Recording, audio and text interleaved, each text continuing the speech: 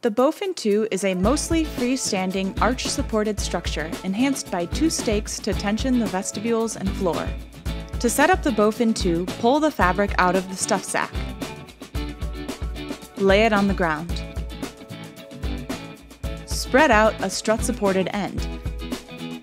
Now, lift the lever on the line tightener and pull the cording loop forward until the cross strut is tightly positioned and there are no gaps.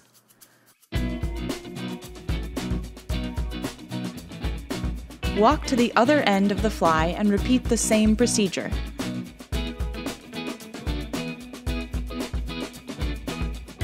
Now prepare the arch pole. Unfold sections and ensure that the pole is fully assembled and joints are fully seated.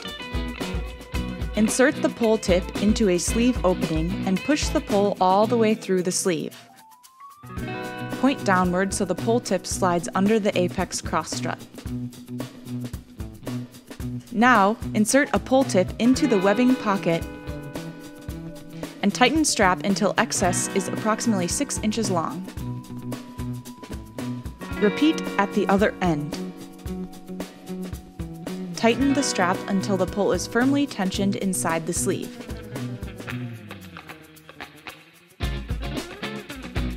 Pole end and strut ends should form a tripod on the ground. Stand the Bowfin 2 up and place it on the ground in the direction you want to sleep. Now stake each vestibule.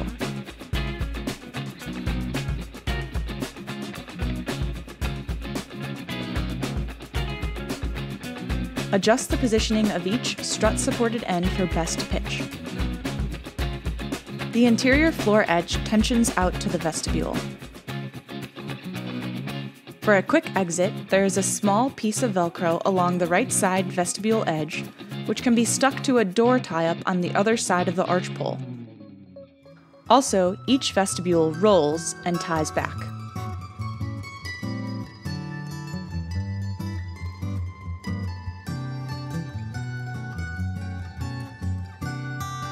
You can also tension the floor separately with a rock or stake if you want to open the vestibule completely and maximize the floor.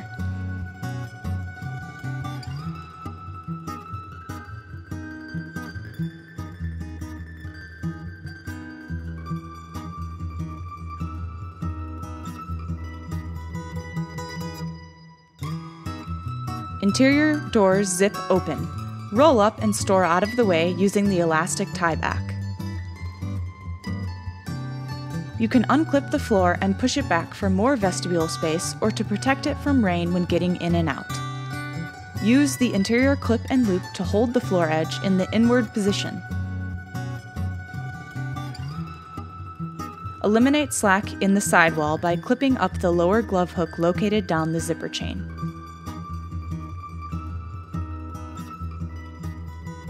The Bowfin 2 interior has dual pockets for phones, glasses, or other important gear. Apex vents clip closed for complete protection in windy rain. Additional tie-outs are found on the zipper flap, fly edge, arch pole sleeve, and at the base of the PitchLoc Plus strut ends.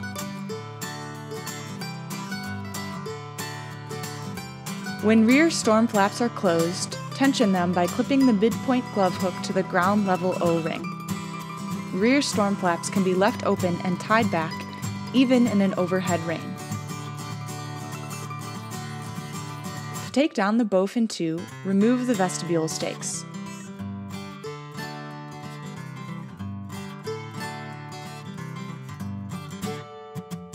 Then, release the tension on one of the pole tip pockets. Grab the arch pole sleeve past the halfway point and push the pole out of the sleeve.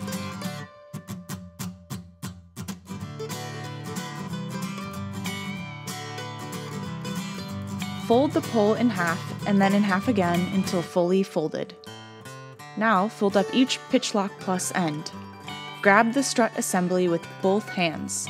Use your thumb to pull the line lock lever down. Pull the cord all the way through and then fold the cross strut down and in with your other hand and thumb. Fold the assembly flat. Lay the assembly on the ground. Fold the tent body in half until the strut assemblies align. Now fold the fabric in on itself until it all assumes the same width as the struts.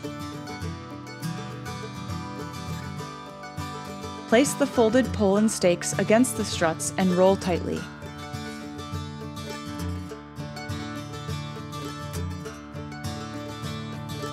Slide the fabric bundle into the stuff sack.